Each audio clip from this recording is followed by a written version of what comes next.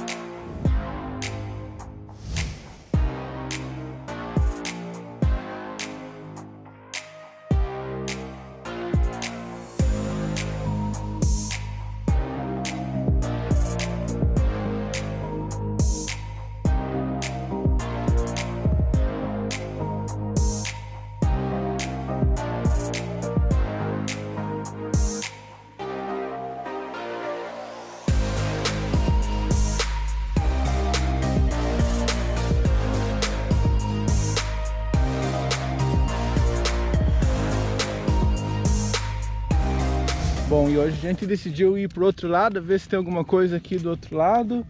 Mas a gente já tá impressionado com a água hoje, olha como a água tá, ó. Tá uma lagoa, olha só. Paradinho, paradinho, paradinho. Tem uns barquinhos, tem umas lanchas também, mas a maioria é barco de pescador, ó.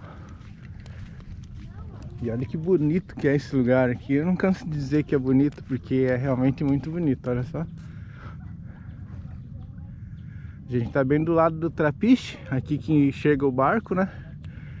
O barco sai todos os dias lá de segunda a sábado, lá de Paranaguá, duas horas da tarde. Ele chega aqui lá por quatro horas, mais ou menos. Olha que lugar, galera.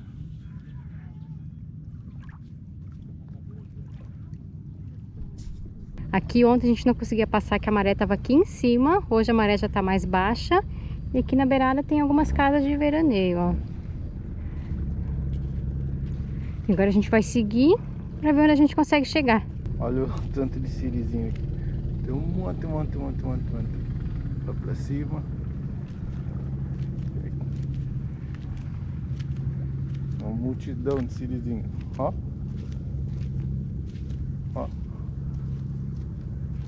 Cuidado pra não pisar neles.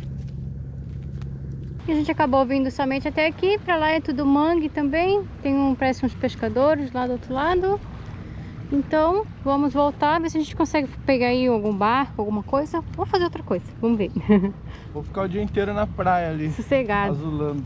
olhando pros botos. É. A gente vai dar um rolezinho aqui pela outra parte aqui da ilha. É onde tem outras casinhas também. Tem uma pousadinha pra cá. A gente vai dar uma olhadinha. A gente tá hospedado aqui, ó. Pra cá, aqui pra frente. Aqui é onde fica a maior concentração de pessoas. E a gente agora vai dar uma voltinha aqui. Tem um campinho de futebol. E aqui é a vilinha.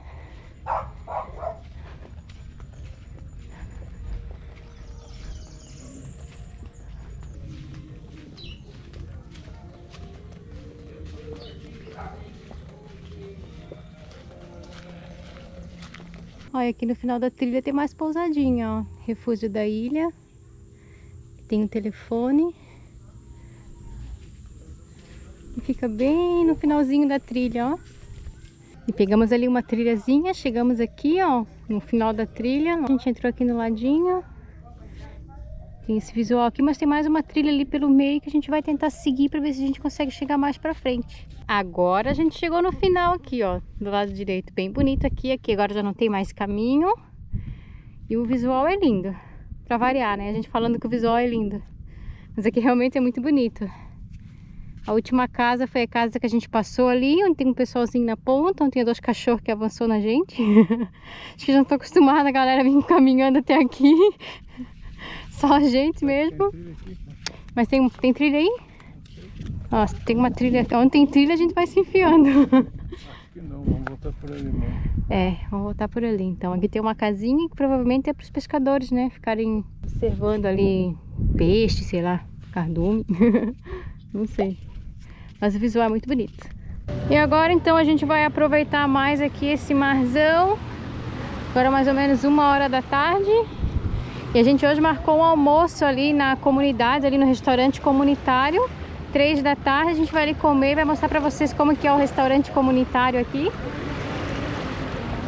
Pra lá já tá começando a nublar também, tá começando a ficar feio. Então agora vamos aproveitar aí, tomar um banhão e três horas ir lá no restaurante comunitário lá pra comer lá com as tias.